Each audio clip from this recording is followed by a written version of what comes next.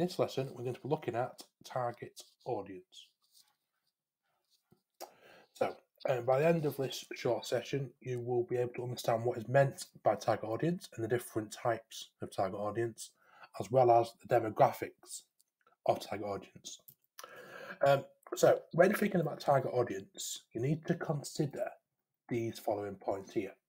Um, you need to think about what they are interested in. So, you've got a specific target audience, but what are their interests? What do they enjoy? What do they like? That sort of thing. Um, the colours. Um, if you're making a product aimed at young people like yourselves, um, what colours would you usually associate with them? Um, you wouldn't have dark, dull colours for 15 year old because they won't be interested in that. They might want more bright, more subtle colours. What design ideas would be most suitable? So, what layouts would they like the most?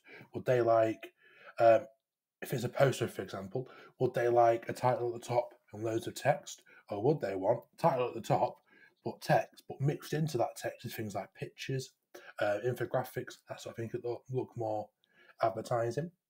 Um, where is the target audience located? To think about where are your targets located? It could be, are they located in England? Are they located in France, in USA, China, wherever they're located? Think about that as well.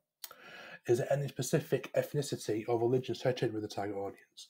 So if you think about certain products that are aimed at certain ethnicities, like um, for example out here, a Bible, for example, um, they will be associated mostly with Christians, for example, stuff like that. Um, and another religion might not be interested in a Bible reader, would they? Um, so, uh, so what we're looking at now is something called demographics, and um, demographics are things like the age of the target audience, the gender, the location, ethnicity, and the income of the target audience. So, if you was creating a product, you need to think about how old are the people it's aimed at, what's the gender, location, ethnicity, and income. Um, this table here in a bit more detail for you. So you've got target audience, then you've got their age, how old the people you're making the product for, what's the gender, ethnicity, income, where they're located, and accessibility. Accessibility means things like if they are a disabled user, for example, bad, bad eyesight, they can't walk very well, how is that product accessible to them? Um, so, look, two examples here to look at. Um, so, who do we think the target audience for this is this is Paw Patrol. You haven't seen it already. It's a cracking TV show.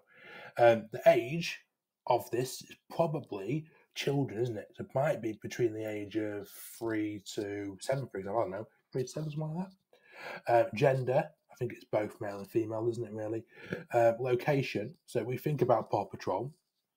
We need to think about what countries have Paw Patrol available. Um, do they translate in different languages? They might do. Um, this one, um, it's a bit more awkward because we need to look at the text on this uh, magazine cover here. So the age is probably men, so probably people over the age of 18, because it's about men's fitness here, look. Um, the gender, again, as men's fitness, probably men. Uh, location, this is where the reading comes into play. So you'll notice that it says here America's toughest drug cop, um, LA's violent surf gang, um, Hollywood. So the location of this is probably America, or more specifically, Los Angeles, as it's LA there, Hollywood's in LA, that sort of thing. Um, so, things to remember.